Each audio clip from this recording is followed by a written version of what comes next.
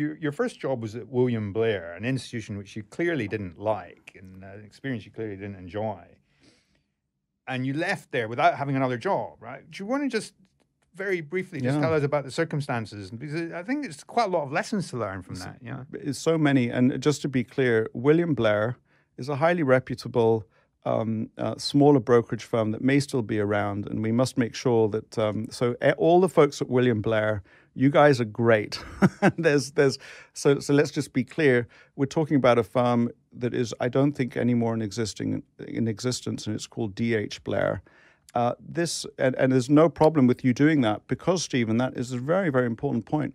What these bucket shops do is that they want to play off the perception that there's something else. So they would name themselves, they would take the name of a well-known firm and you know instead of calling themselves Goldman Sachs, they'd call themselves Geldman Sachs. Believe it or not, Oh. that there would be people who'd be duped by that. And it's just kind of insane. And in a certain way, you made the exact mistake that the people at DH Blair wanted you to make. Well, you know what I did was when I was writing up my notes, I actually, I've got a friend at William Blair, Right. And we were, we were meant to be meeting up for a drink, and obviously that was in my mind Yeah. as I was as I was writing the notes. So Isn't my that com- scary? profuse apologies to William Blair. Yeah, but might ac- might even become clients. So But you it, know, it makes a really, really important point Yeah. that uh, a friend of mine and I have played around with. So the mind creates positive associations. It's not very good at creating negative associations. So uh, we, we kind of like toyed with the idea of um, writing on uh, one of our Wikipedia pages, you know, um, Guy Spier has never worked for George Soros.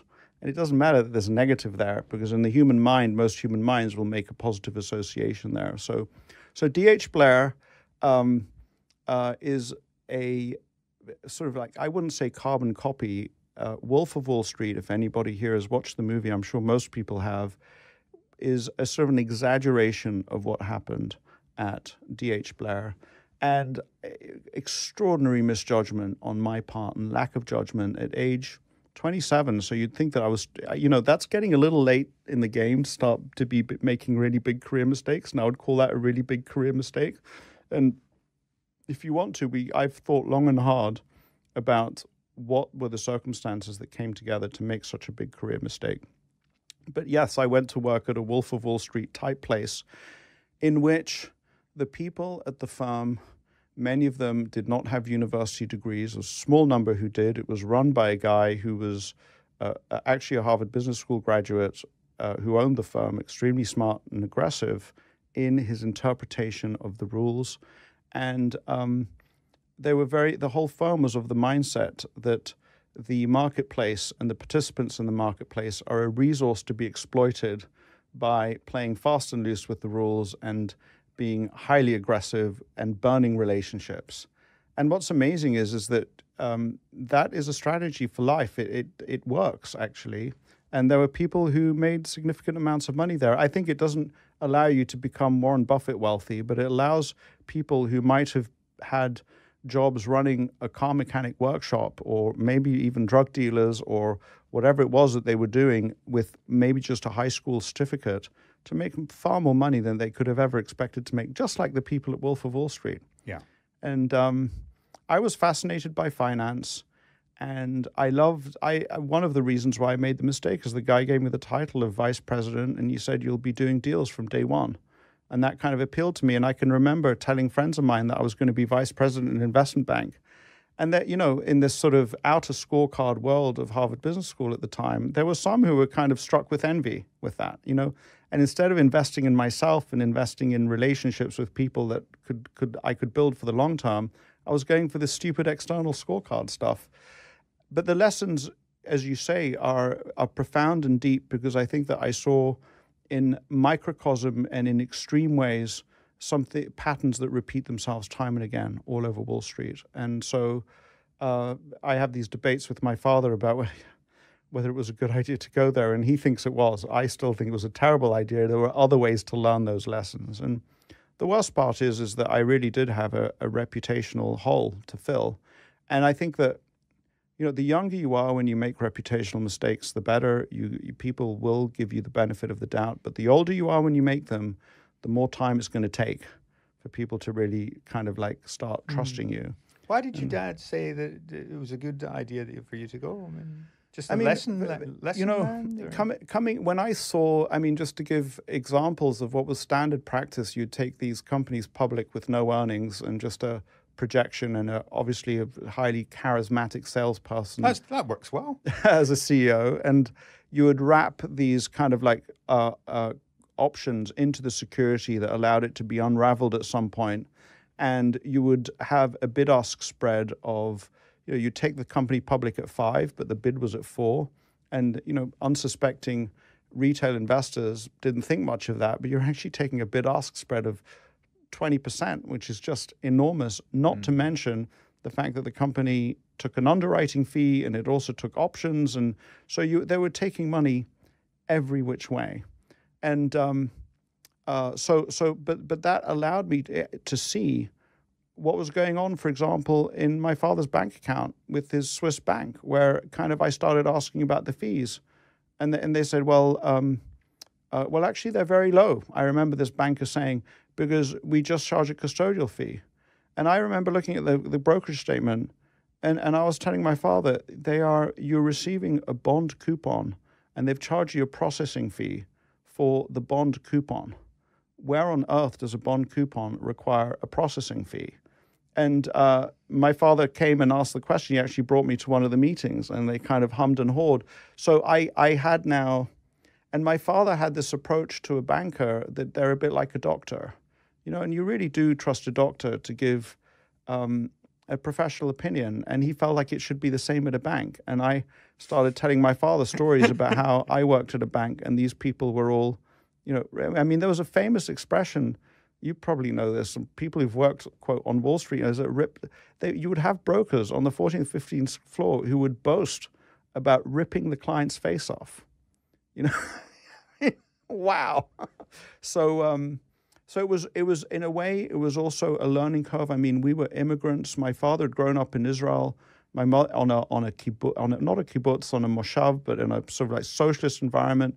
My mother had grown up in South Africa, and so I think that we as a family were going up a learning curve and becoming more deeply understanding of sophisticated things like financial markets, and he was going up a learning curve. So, um, so yeah, I so he feels like because of my experience at DH Blair, um, he went up that learning curve. I think he would have gone up that learning curve if I'd gone to work at Goldman Sachs, which probably if I'd continued with the interviews would have been an option for me, but.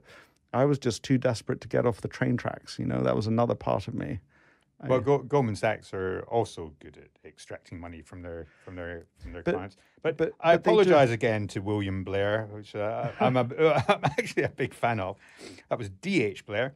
But your your dad gave you a million dollars to invest, and and later with two associates gave you fifteen million dollars. Yeah. Uh, Why did he trust you with so much money, or was it not a meaningful thing? No, that was him? very that was that was very meaningful. That was everything. So why, that was- why did he do that? Um, I ask myself the question to this day. You know, he's around. You could ask him. He might he might give you an answer. Or we might do a Um, po- we might do a postscript. We'll do a Zoom call with your dad. I That'd mean, you cool. know, I, I've just been lucky enough to spend time with him over the last couple of days, and um, he's a very different personality to me. Uh, in that, so I am I am good with numbers relatively, but I'm not that good on the EQ side, at least not compared to him. And he, on the other on on the other hand, is just amazing with relationships but uh, and you know maybe not as good at numbers as I am, uh, something like that. But he also had some pretty amazing, amazing. He was a farm boy, wasn't up to much, but somehow the Israeli military saw leadership qualities in him and took him and put him through an officer's course and put him into various leadership positions in the Israeli army for the time that he was there, and. Um, I think that, uh, at least in his case, leadership is taking bold decisions. It's also, and I, I've learned this. You know, you you just you either trust somebody or you don't, and if you do trust them, plunge in with both feet. And it's kind of scary, but he's capable of doing that. And I think that he's faced. Uh, he, he's faced very dangerous situations where his life was at risk multiple times, and he's seen friends die in various wars. And so I think that you have a very different approach to decision making and, in a certain way, risk taking. Once you've seen that, investing all of your liquid, liquid net with your son is a no brainer and just easy, I suppose.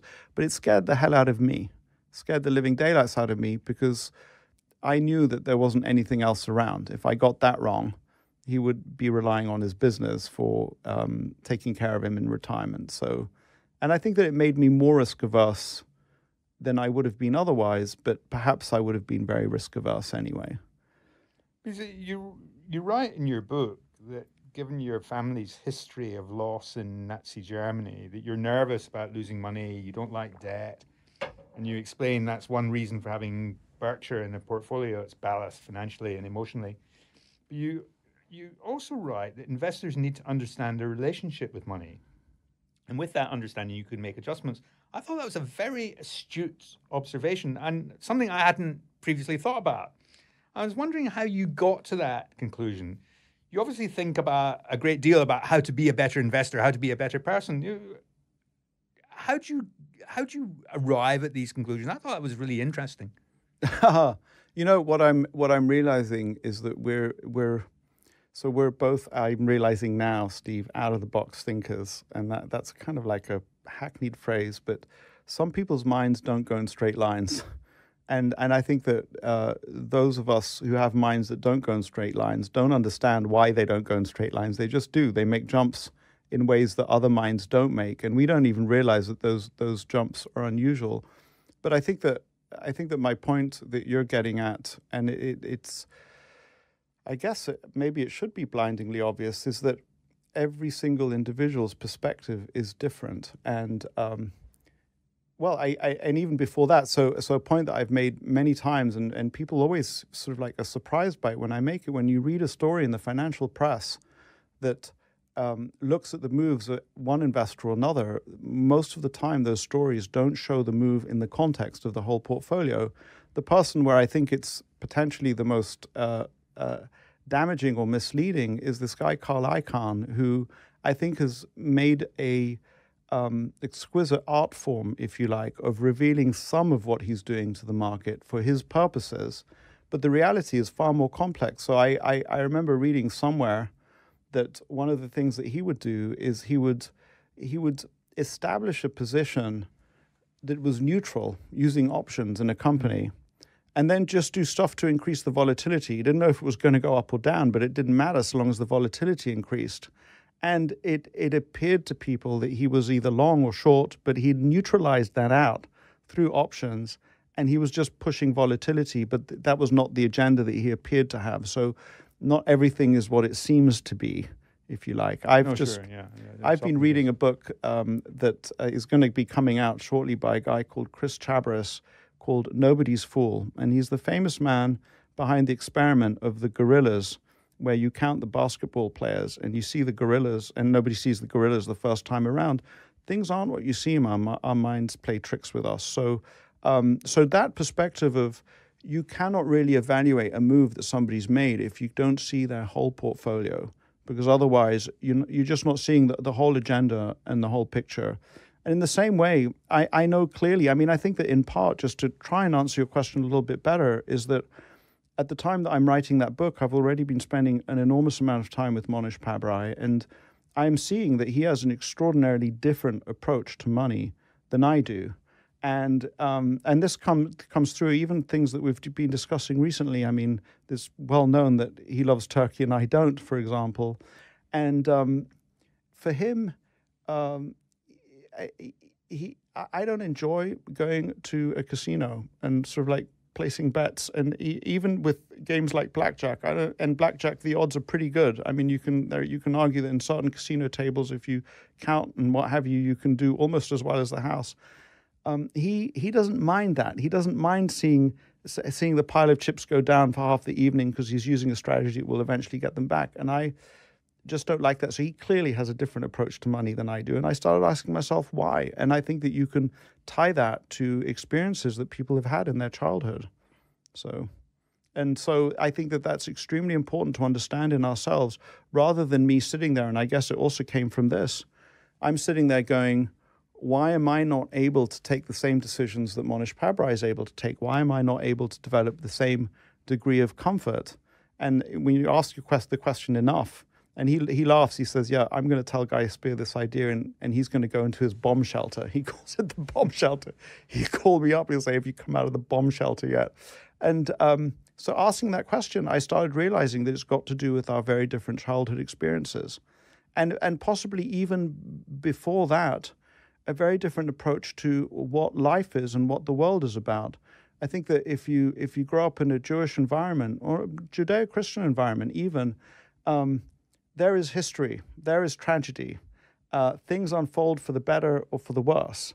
But if you grow up in a, as I understand it, and I'm not claiming any um, uh, expertise here, there's there's the idea in the Hindu world of reincarnation of souls, and and there's a circular life. History doesn't unfold towards some destination. Life just repeats itself, and maybe in a world where life just repeats itself endlessly, you have a different approach to money because it kind of comes and goes, whereas that's not the feeling. There's tragedy, there's loss, and then there's rebuilding. You try and hold on to it, something like that. But and it seems to me that if we understand all of the stuff behind all of those kind of psychological underpinnings and just the perspective of consolidating the person's balance sheet, um, we do better.